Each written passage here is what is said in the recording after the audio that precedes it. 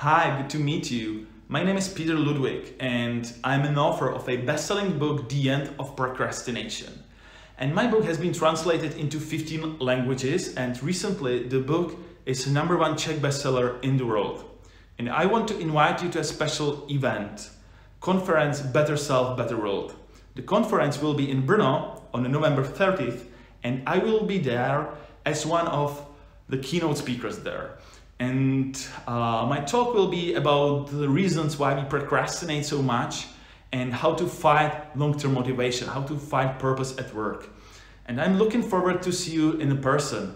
The conference is organized by my friends by companyforeigners.cz and uh, it will be a great event. So see you there and take care guys.